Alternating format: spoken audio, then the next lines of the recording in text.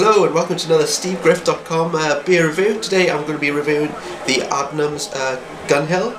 Um, it's a uh, ruby, red ruby coloured, um, mild, mild, uh, bitterish ale, 4%. Uh, it says full flavoured beer on the um, on the on the front of the bottle.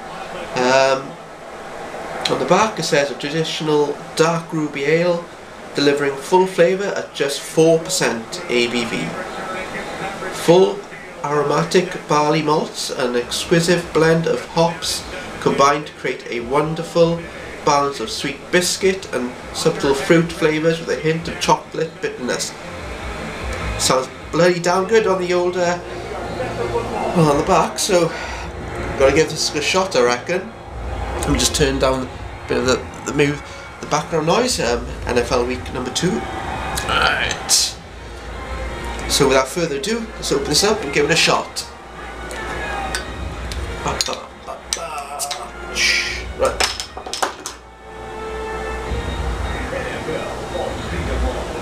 Oh, the nose, musky. Just a tiny bit of musk. Bit of maltiness, nothing much happening. But who smells a beer, eh? Let's, let's drink and taste it. See, quite malty-ish. Definitely ruby, ruby-ish. Good two-finger head. It looks pretty damn good. Again, like a fresh muskiness. Musky though, not not you know, it's nothing to, nothing to be worried about. Without further ado, let's give it a whirl.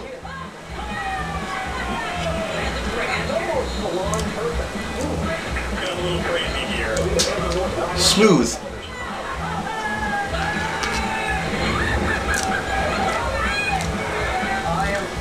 Smooth throughout throughout the taste. There's like a bitterness flavour. Well, the back said, says quite a lot of stuff. It's a little bit more subdued than what it likes here in the back. Um, just to remind myself um, and you guys watching this, sweet biscuit. Is the biscuit the, the, the, smooth bitterness I'm seeing? Possibly. Um, subtle fruit. A little bit of fruit. Nothing much happening there. And with a hint of chocolate bitterness. There's definite like a, like this chocolatey zing on the end, but but it's up in the air whether you call it chocolate or, you know,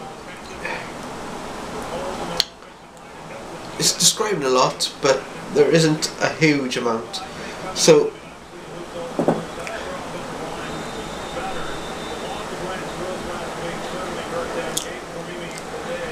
Adnams, they do definitely do really good beers. Explorer, Lighthouse, they're damn good beers.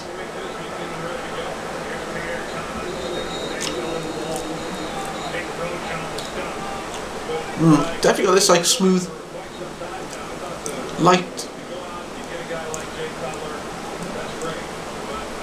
Like this chocolate or like a like a smooth raisiny. Eh, you could debate either way. So it's a nice beer. Not, I, would, I think it's not one of their best, but it's still damn good. If you like um, like like darkish, four percent, not gonna blow your head off. Rating wise, I would say definitely good. If it's on local pub, go for it. Um, it's nice, but it's,